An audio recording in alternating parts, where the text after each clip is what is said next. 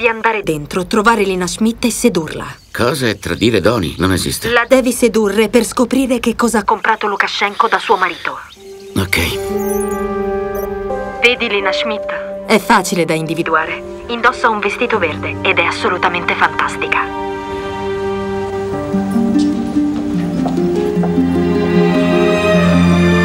È davvero fantastica.